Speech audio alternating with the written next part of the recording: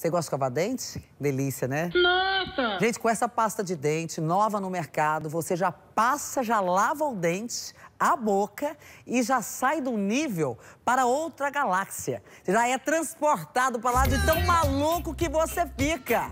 É, servidores do presídio de Mineiros, no sudoeste goiano, encontraram porções de drogas escondidas em tubos de creme dental. Zé Eduardo, o creme dental que revolucionou o mundo dos maconheiros.